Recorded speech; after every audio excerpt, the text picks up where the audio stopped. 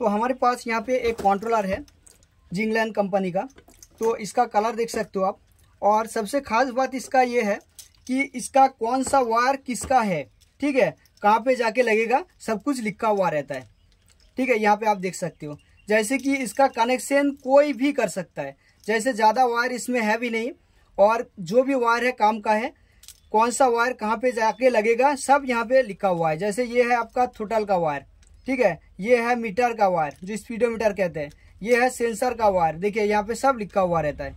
ठीक है? उसके बाद यहाँ पे है आपका ब्रेक का वायर।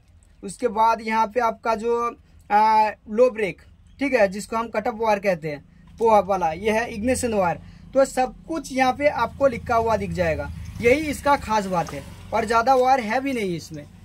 ये वाला कंट्रोलर का कनेक्शन जो लोग काम जानता नहीं वो भी अगर करना चाहे तो वो भी आसानी से कर सकता है। ठीक है? क्योंकि इसमें उतना वायर है ही नहीं।